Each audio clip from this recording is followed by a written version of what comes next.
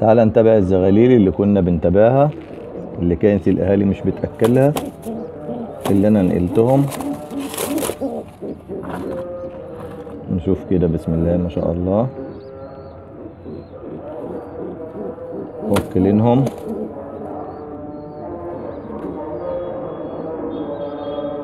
فاكرين التلات زغاليل؟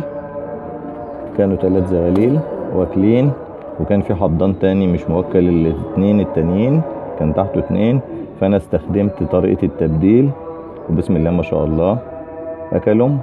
ده النهاردة اليوم التاني وأنا مبدلهم. لكن أنا ببدل كل يوم بتابع وببدل اللي اكل أوديه للحضان اللي ما بيأكلش. والحضان اللي ما بيأكلش ببدله وأحطه تحت الحضان اللي بيأكل. طب تعالوا نشوف الزغاليل التانيين مع بعض. ده الحضان التاني اللي ما كانش بيأكل الزغاليل كان تحته زغلولين فأنا خدته ببدل مع التانيين اللي كان تحته تلاتة. بسم الله ما شاء الله. كان فاضل تحته زغلول. أنا سيبت له أكبر زغلول. ده أنا سايب له أكبر زغلول أهو. شوف بسم الله ما شاء الله. آكل. بسم الله ما شاء الله. طب تعالى نجيب الأربع زغاليل. التانيين مع بعض ومع دول نجمع الخمس زغاليل ونشوف هنتابع بعد كده في الأيام الجاية إزاي.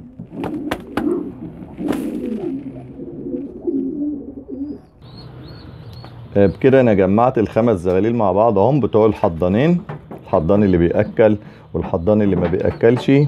آه قلت لكم إيه سبب الحضان اللي ما بيأكلش بالنسبة لي؟ وبالنسبة لحضراتكم ممكن يكون في ذكر زيادة لكن بالنسبة اللي حصل عندي إن أنا كنت نسيت الإضاءة دي منورة. لو تفتكروا الفيديو اللي فات كان فيه كنت نسيت الإضاءة دي منورة آه وقلت لكم إن سبب الإضاءة آه ليل ونهار آه بتسبب إن القص أو الحمام اللي هو فقس معرفش يعد الأيام كويس اللي هو بيجهز فيها اللبة.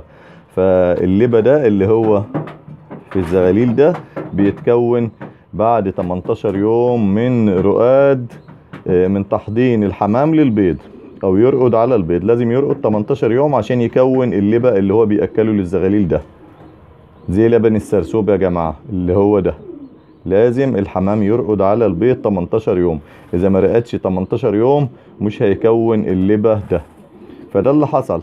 إحنا عملنا أنا نسيت النور منور آه ليلة أو ليلتين مثلا.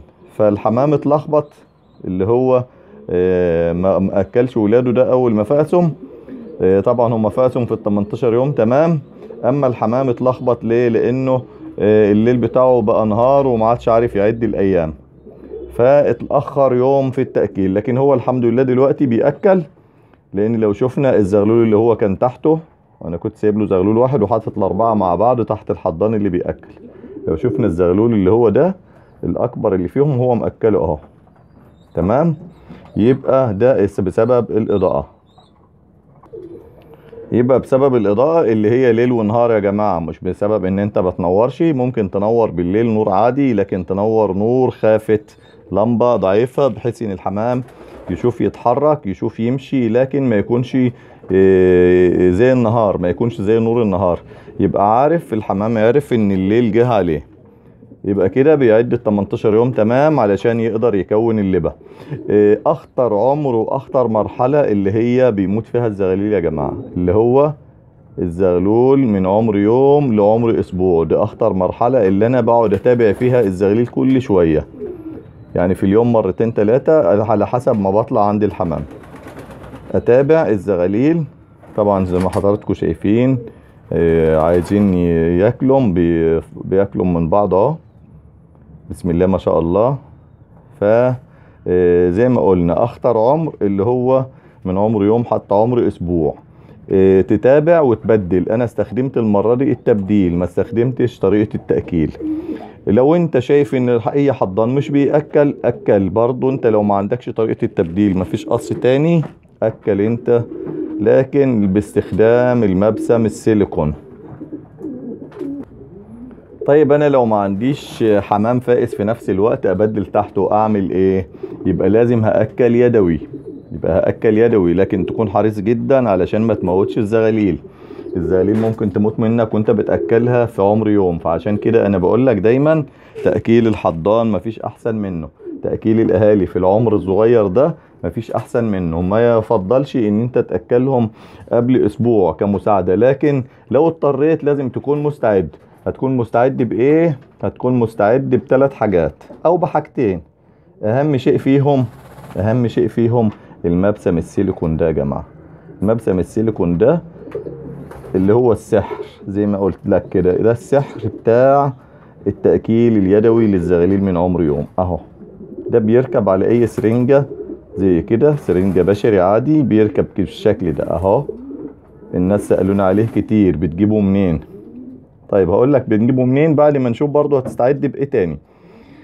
وخلطة التأكيل اليدوي أو ال mix بيتباع في الأسواق. لكن أنا عامل ال mix ده عندي في البيت. لو أنت مش هتعرف تعمله اشتري أحسن يكون أفضل إن أنت تشتريه. تمام؟ هتلاقيه في أسواق الحمام أو عند ال- البيطريين المختصين اللي بيبيعوا آه، مستلزمات الحمام. تمام؟ إن ما عرفتش تجيب ال mix ده هقول لك تعمل إيه؟ من عمر يوم للزغلول اللي هو من عمر يوم. كيس حليب بودرة. لازم يكون عندي الكيس ده. من ضمن الاستعدادات أو أي صنف من الحليب الجاف. تمام؟ كيس حليب بودر. لازم أكون مستعد بالكيس الحليب البودر. وأحط آه، أخليه زي المية أو زي كوباية الحليب كأنك بتسقي طفلك كوباية حليب. وتحط يا دوبك هو الزغلول اللي من عمر يوم هتعطيه نص سنتي. وكل ما تطلع تلاقيه جاع أو هضم الأكل تحط له نص سنتي. لغاية ما الحضان نفسه أهاليه هي تبقى تأكله. لكن أنت آه، مش هتأكله دايما على طول. أنا دايما بقول لك من عمر يوم الأفضل الأهالي تأكل. لكن أنت مش هتسيبه يموت. زي ما أنقذنا زغلولين قبل كده من الموت وأكلناهم يدوي أنت هتعمل كده بالظبط. ال- لغاية ما آه، تسيبهم لأهاليهم. طبعا بتأكلهم وترجعهم لأهاليهم علشان الدفى وعلشان برضو الأهالي هتأكلهم هتأكلهم. لغاية الأهالي ما تأكلهم ما انتش أنت تبقى تأكلهم بقى خلاص. خلاص انتهت مأموريتنا. إحنا ساعدناهم لحد ما عدينا مرحلة الخطر. كل ما هنالك إن أنت بتنقذ الزغاليل من الموت. وأنا في هعمل إيه دلوقتي؟ أنا هبدل دلوقتي أشوف اتنين الاكبر اتنين احطهم مع بعض. اكبر اتنين هحطهم للحضان اللي تأكيله دلوقتي وبدا يأكل بس تأكيله لسه ضعيف. هبدأ أحط له الاتنين الكبار. انقي اختار الاتنين الكبار. اكبر اتنين اهو فيهم. ده عمر يومين يا جماعة. ما شاء الله بسم الله ما شاء الله. فيهم واحد أكبر من واحد شوية بس مش مشكلة. وبرضه هتابعهم زي ما قلنا لحد ما يعدي أسبوع. وأرجع التلاتة التانيين دول للحضان اللي أنا عارف إن هو بيأكل ودايما هبدلهم كده تحت الحمامة. الاقيها مأكلة الزغلول اللي بره ده أدخل أرجع ده بر وراها كده وأحط لها الزغلول ده قدامها بالشكل ده. تبقى هي شايفة الزغلولين اللي هم قدامها اللي هم الضعاف شوية دول يبقى تبدأ أكتر ما بتأكل الزغلول اللي جوه. تمام؟ آه كده آه كون خلصت موضوع فيديو النهاردة.